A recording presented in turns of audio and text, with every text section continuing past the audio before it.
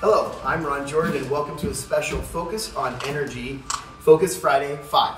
We are at the Net Zero Home Build in Fitchburg. Last time we were here, the foundation wasn't even in place. Jackie and Kevin are building a net zero ready home, which means they will produce any energy to offset energy used. Their house will be net zero when the solar panels are installed. And they're working with Focus on Energy advisors and trade ally contractors, ensuring the home's energy efficient design works with any little changes and will get rebates for energy efficient products purchased. So, Jacqueline, how's it going? Great. Everything seems to be on track. Uh, we have made at least one change though. Uh, we upgraded our electrical panel to accommodate the maximum peak load of the house and prepare for the solar panels we plan to install and the EV charger. There's always those small changes, obviously. Yeah, I mean, you, you called it earlier. I I feel like there's a few things we could have done in the design phase to avoid it. Um, at the same time, we might have come to the same conclusion anyways. We kind of future-proofed our house. What else is happening that uh, you could say would be moving towards the energy efficiency and the net zero? Yeah, ready hard to believe, but there's a lot of energy efficiency things already thought out in this house. Okay, so let's start with the stud walls. One of the things we considered was upgrading all our walls from 2x4 stud walls to 2x6.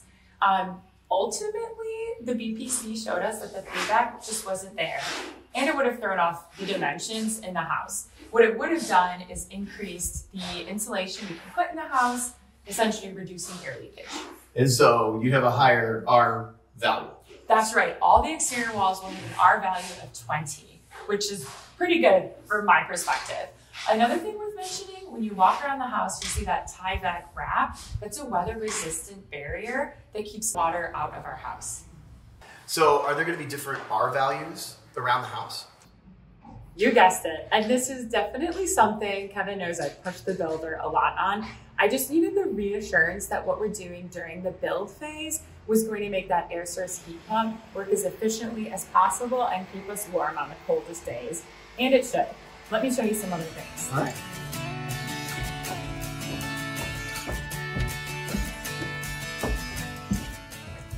Welcome to the basement. Um, there are a few things that we thought about energy efficiency wise here. So the basement walls will have an R value of 10.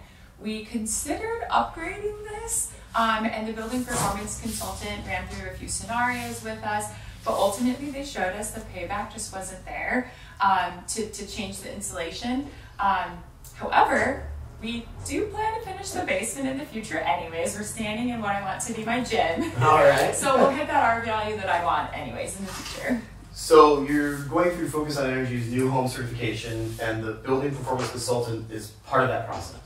That's right. Um, the building performance consultant that's doing the energy model is also going to come on site twice. They'll do two site visits. One of them is basically now pre-drywall. They'll walk through, they'll make sure all the energy efficiency components look good. They'll give the uh, builder a report with a grade. and we'll see if there's any changes we need to make. They'll come again pre-move-in.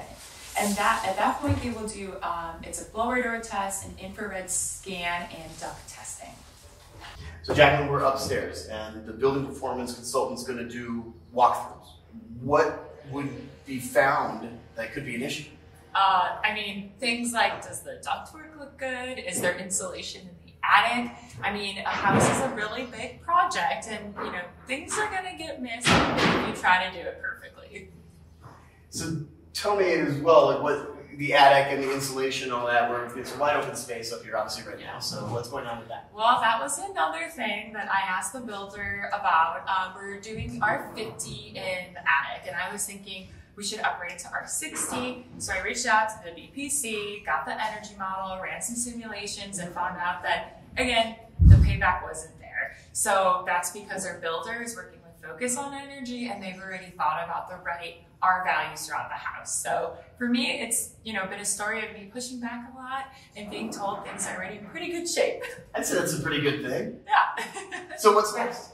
What's next? Um, well, I'm going to invite you for that walkthrough with the BPC in a couple weeks here. It should be pretty fun, I think. Well, yeah, I think it's going to be fantastic.